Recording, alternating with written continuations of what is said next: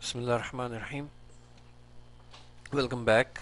Um, uh, this is the second part.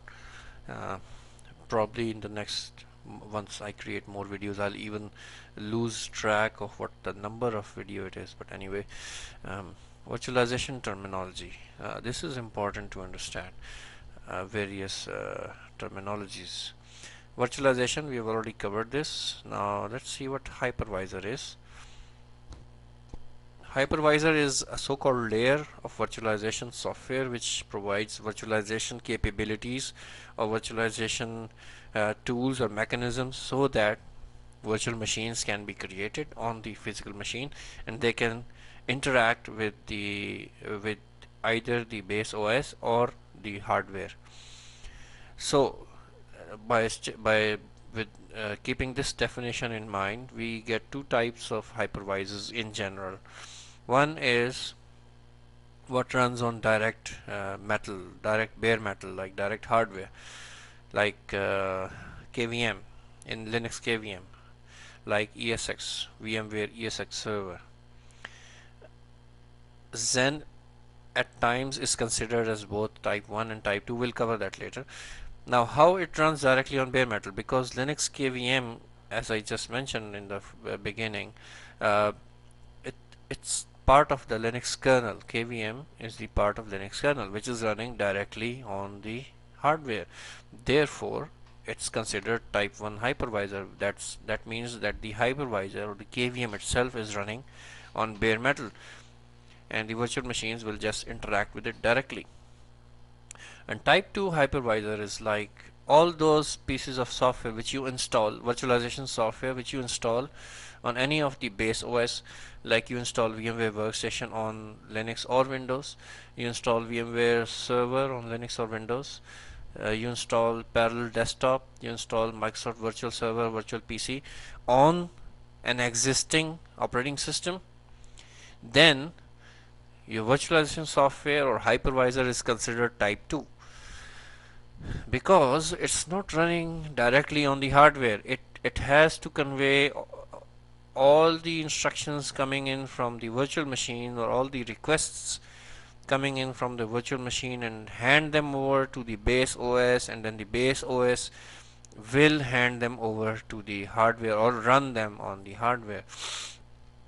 Sometimes uh, Xen is considered as type 2 hypervisor as well.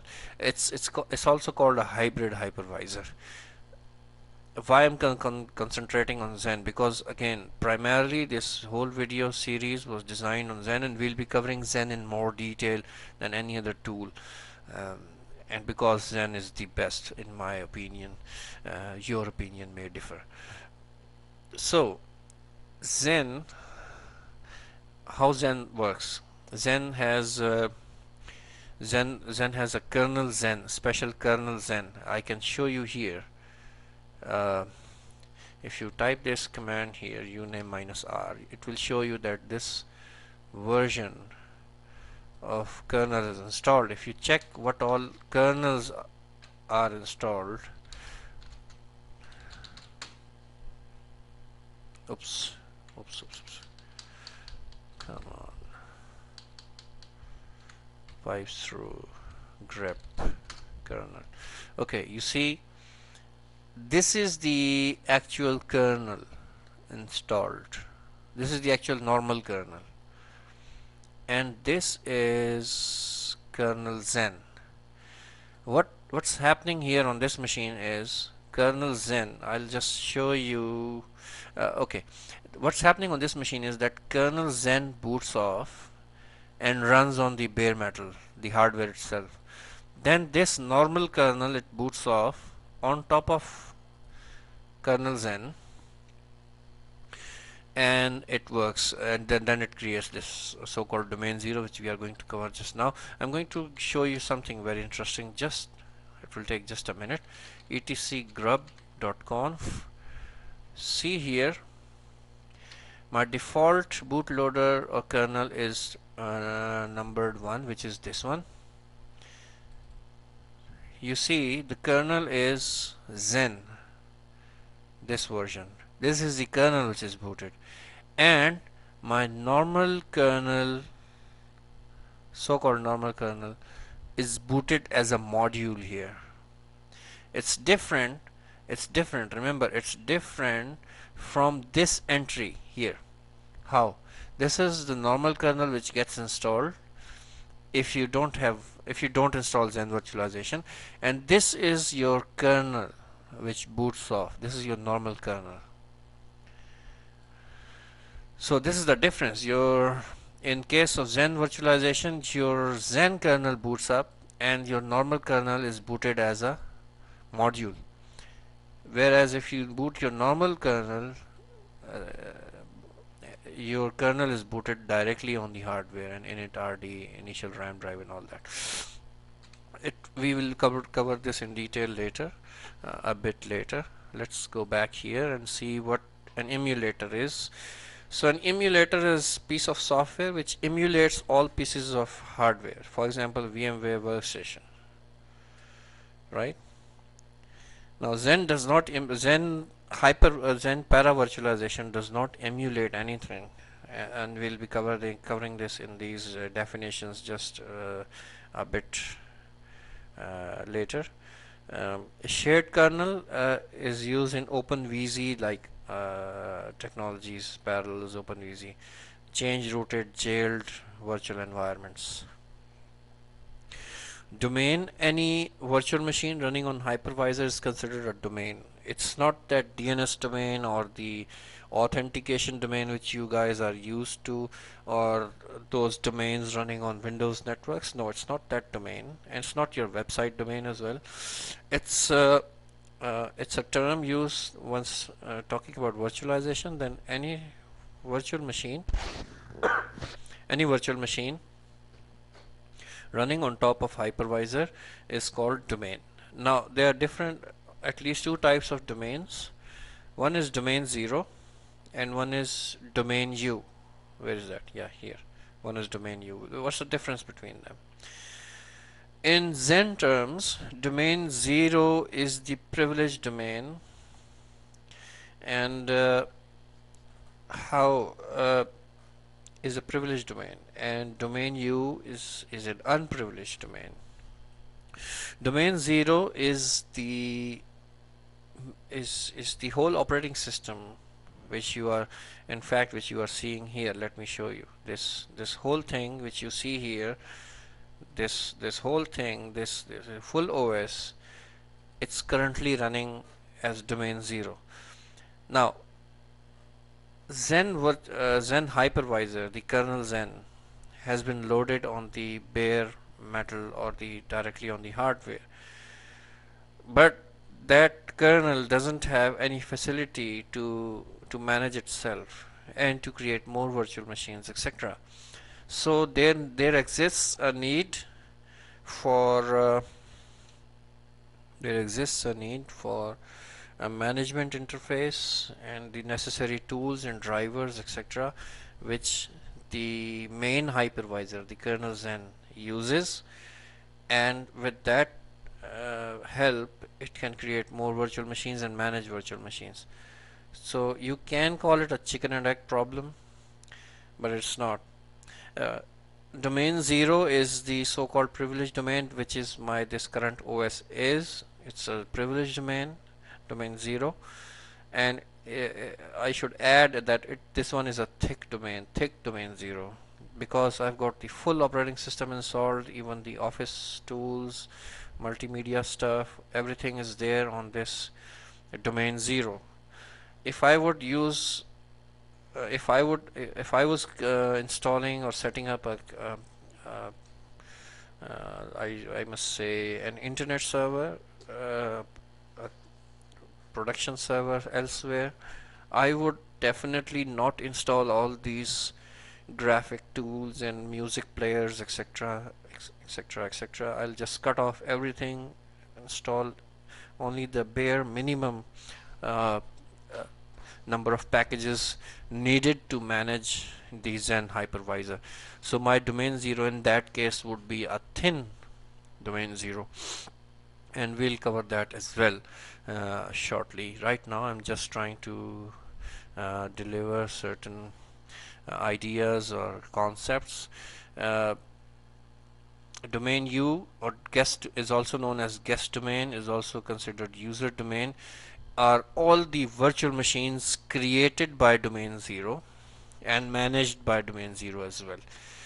So when you set up a Xen virtualization server you've got one domain 0 which manages the hypervisor itself and the virtual machines. Now this term PAE is physical address extension is is a uh, this is the minimum requirement for Xen to run on a processor. Uh, I think I covered this earlier. Even if not uh, any processor which is like Intel Pentium Pro or higher normally has this feature available. That means that you cannot use Intel Pentium or below. Intel Pentium or 486 or 386 processors you cannot use those kind of machines to create uh, uh, to install Xen and then create virtual machines uh, because it does not support PAE the later versions support. However still again there there there are exceptions but they are very rare.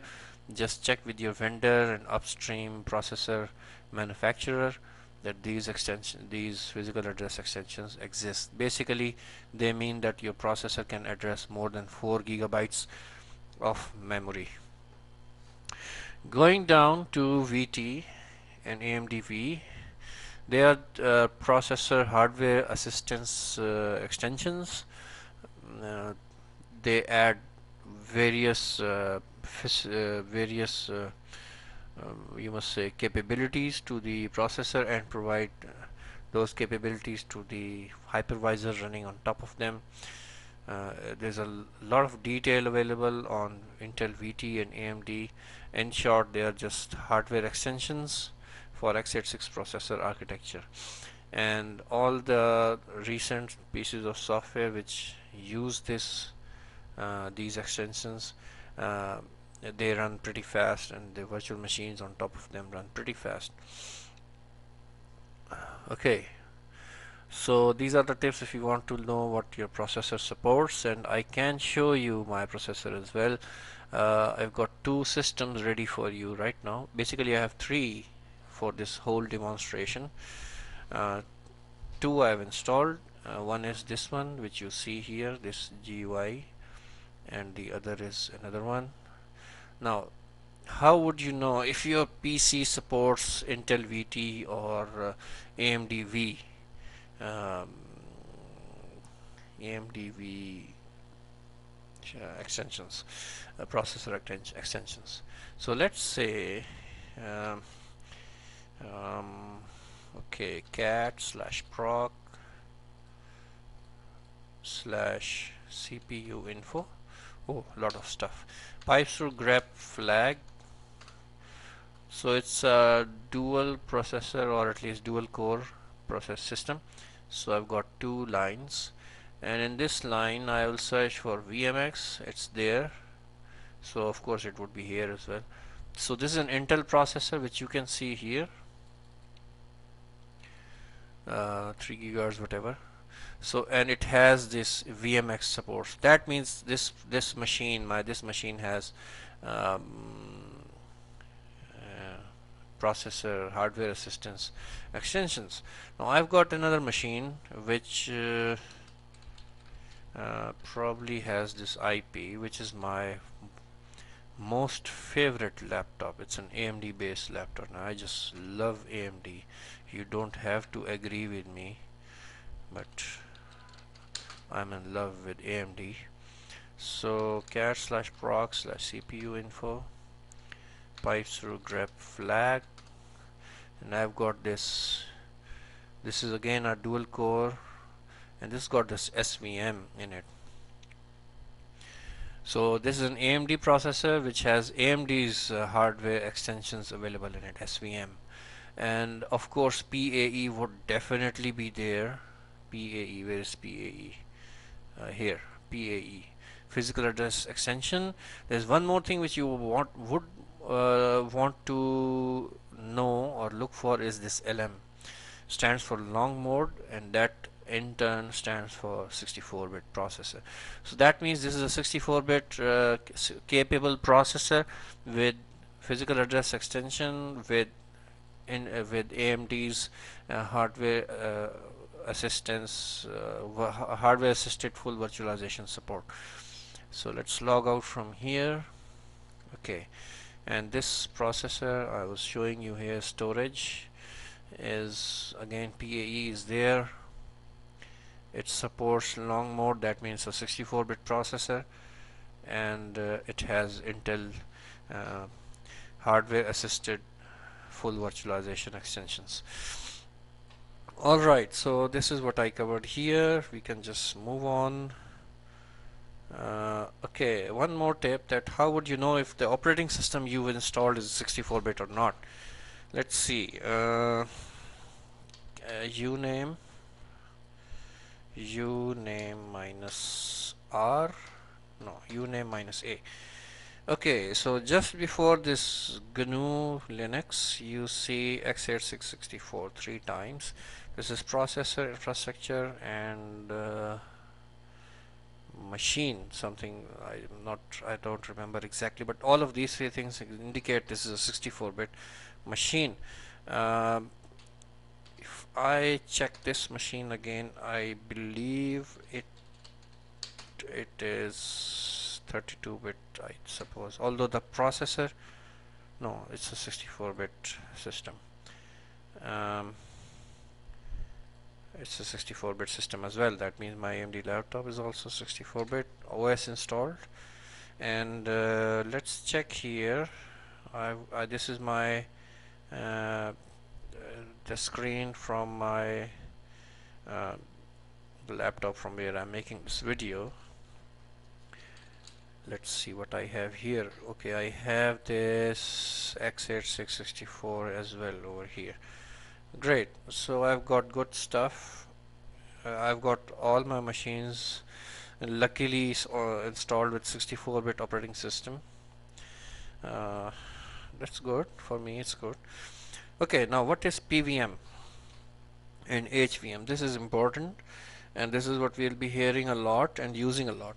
PVM stands for para virtual machine and a para, para virtual machine I have explained or at least mentioned a couple of times by now that it is uh, all those Xen uh, machines uh, running on top of kernel Xen.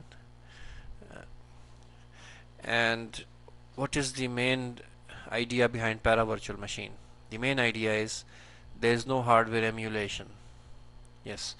And in all sorts of other emulations and full virtualizations there is uh, a kind of emulation involved that you fake a processor you fake a hard drive you fake uh, fake memory etc to the processor.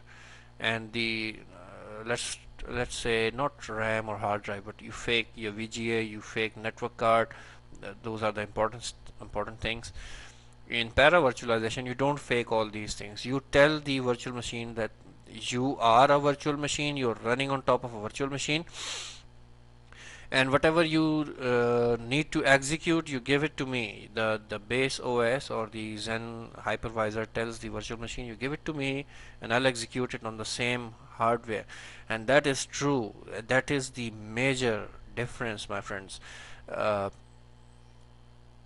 in para virtualization the virtual machines run with the same speed the same specs of the processor which is available to Xen virtualization which is available to Xen hypervisor itself.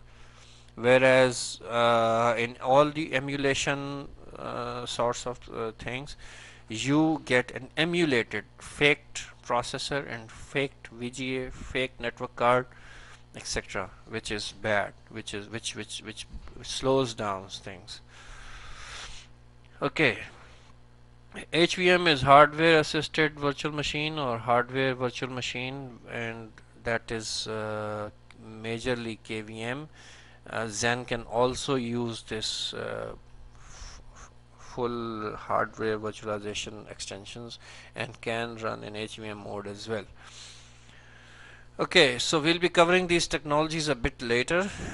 And now we'll cover what um, why exactly why on earth as someone says should you use virtualization.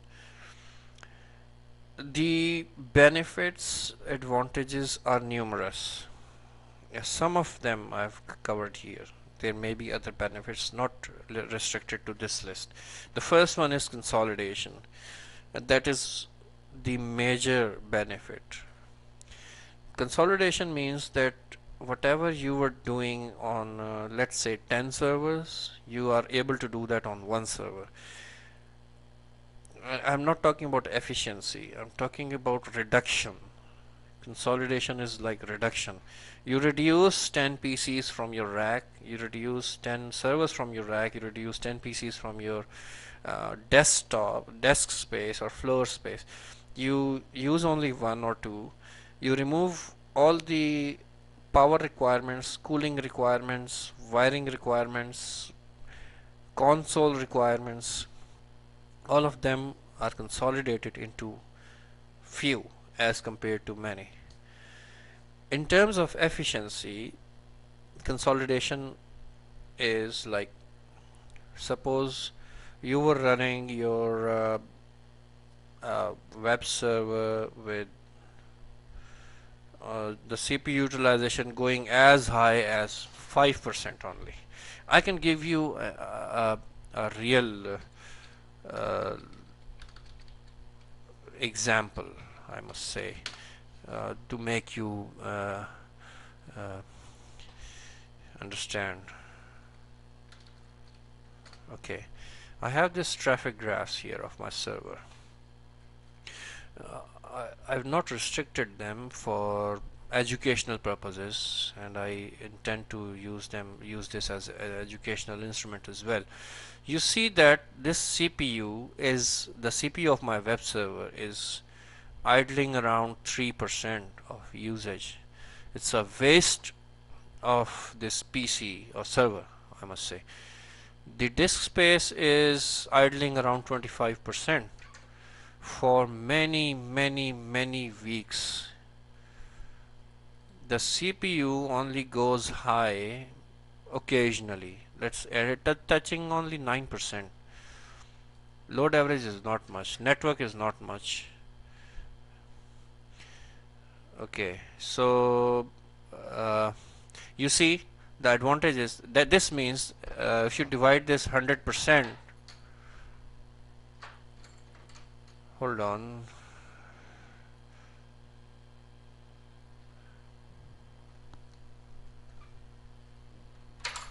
Okay if you divide this this 100% with this 3 that means um, how many how many at least 20 more machines although it's not a exact division I can run 20 similar machines on top of this. And that's true I can I can run provided I have enough IPs or enough further uh, infrastructure available to me. Come back to this uh, CPU memory disk bandwidth all these can be efficiently utilized. I have this 25% uh, used only. So talking in terms of disk space I can probably go four times. This disk space contains a lot of backups as well so it can go down I can say to 15% of the total disk space. So I can use uh, in this hardware I can use four extra machines right away. If I add more hard drives a couple of more I can I can definitely run more uh, more virtual machines. So I, I can straight away I can benefit even from my existing hardware and that's the beauty of virtualization. Uh, support of multiple uh, like uh, I can run an application which supports only an older version of the OS let's say I've got an application uh, which supports only Red Hat 4.4.7 so I can create a virtual machine and uh, install Red Hat 4.7 on it and run my application perfectly fine. Uh, I'm not restricting to Xen by the way. Let's say your application needs some stupid application some rare application out there which runs only on Windows NT let's say and it's very critical to your organization. You cannot afford losing it etc cannot afford upgrading it. What to do? And you've got all these new hardware coming up and Windows NT not supporting those new hardware. So what to do? Simple. Uh, install virtualization software. Create a virtual machine with Windows NT on it. Run your application on it on that virtualized server or PC whatever that virtual machine will, will benefit from the uh, latest hardware which is provided to you through the base OS and that's the benefit of it. So your legacy applications OS can still run.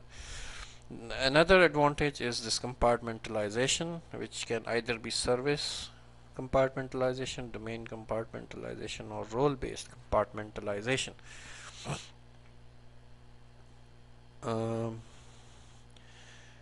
that simply means that I can have three separate uh, suppose three separate web servers uh, three separate servers. One can run web service one can run mail service uh, one can run anti-spam service maybe.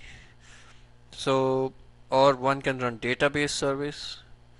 So if one goes down the other two are not affected that's the idea behind compartmentalization. You are avoiding or you try to avoid single point of failures um, and uh, remove dependency of multiple services on one piece of hardware.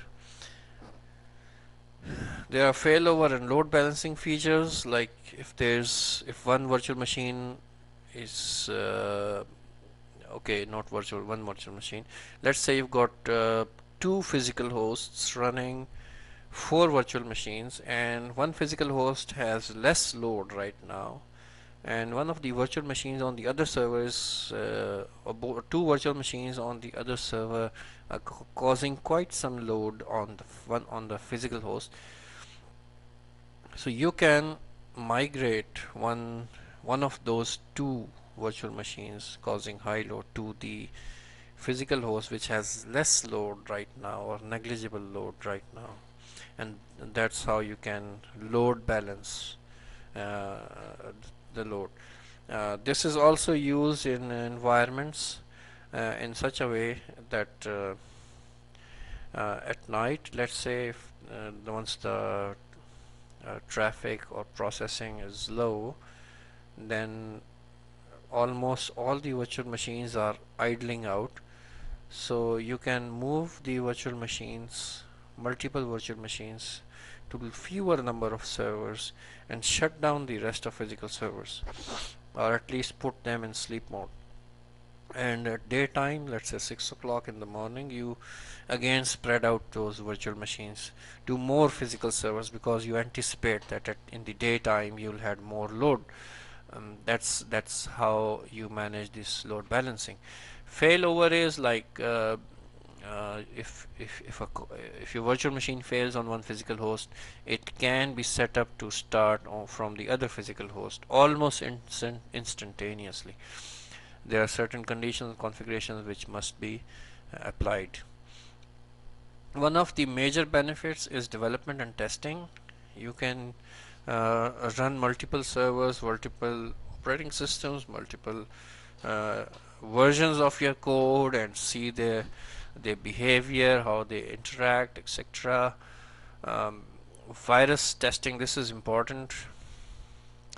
Uh, patches can be applied on the test machines and then can be if successful can be applied on the on the real servers. Um, virus testing if you are testing how virus would spread and how to counteract it you're creating an antivirus software or something uh, you can test it in a virtual environment. You can you can run a full uh, you can run all your uh, internet uh, attack uh, methods or techniques and test them in a contained environment so you know how to counter them how to create defense defenses against those attacks etc uh, the same can be used for training. This is very important. Again uh, it's it's very popular training uh, infrastructure now because each student can uh, now have a full virtual lab inside his own laptop or PC so gone are the days when uh, there was one big lab and which, which was time wise expensive to set up and then every student was uh, directed not to mess around because the reconstruction of the lab or the software or the configurations would take time. Now the instructors just come in they hand out the virtual machines to the students ask them to run them on their uh, virtualization software and they, he also creates uh, uh, a main lab uh, so to speak within the campus network and a lot of experimentation a lot of experimentation can go out can be done like that. Virtual appliances is uh, is one of the benefits. Now you can uh, what you can create is like um, uh, pre-configured um, firewall let's say pre-configured um, voice over IP server pre-configured web server uh, hardened web server so to speak and uh, um, create an image of it and uh, publish it or keep it uh, in a safe place and deploy it as required.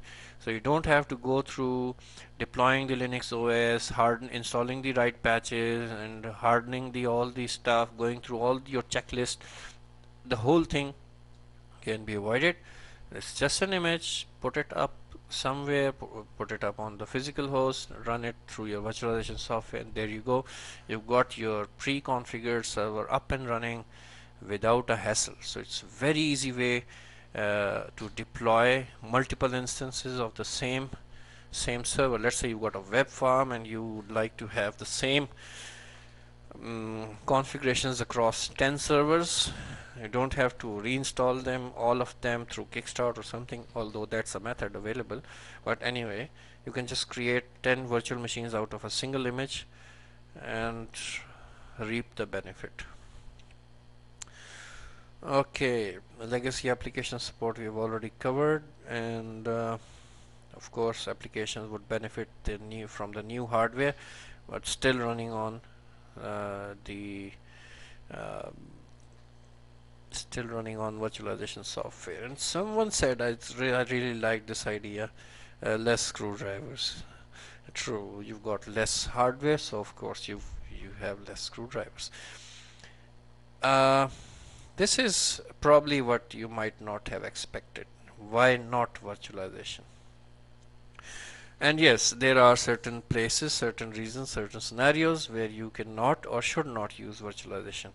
Or these are the disadvantages of virtualization. First is uh, it's it's it's um, it's publicized as such that administration becomes easier. Uh, I personally do not agree to this. Uh,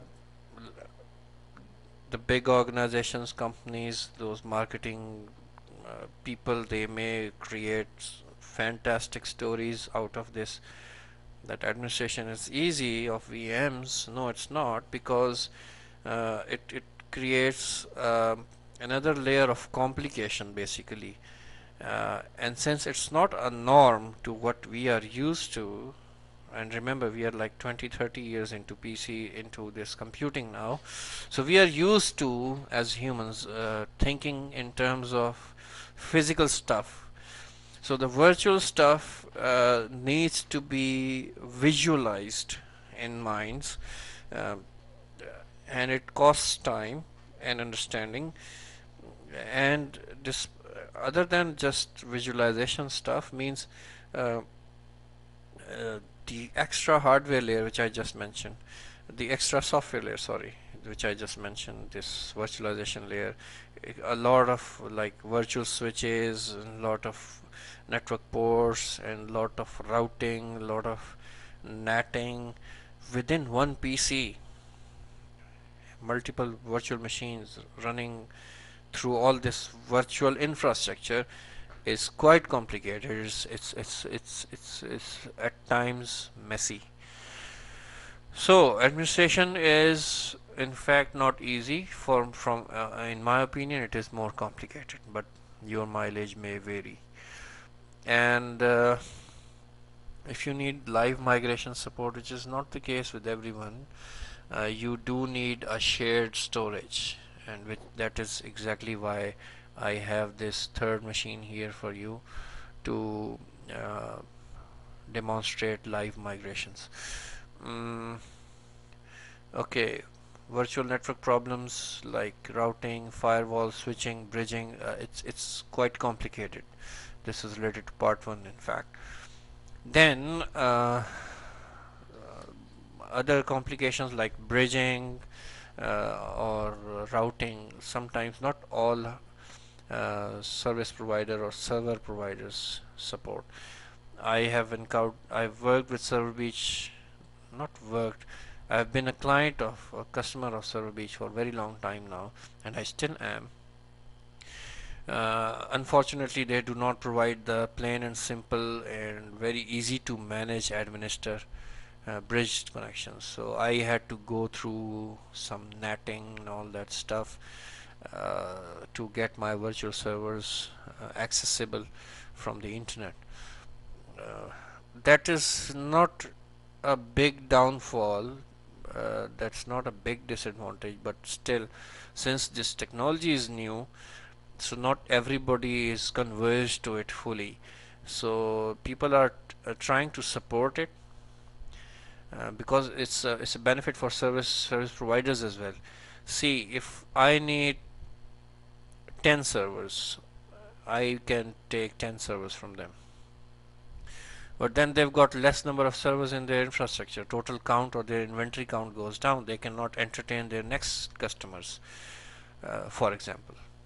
Uh, however, if I use virtualization and I, I am pretty happy with two servers and running 10 or 20 servers on top of it, uh, so that means their inventory, uh, they, they, they have more P servers in their inventory and they can serve more customers, they can get more money, etc.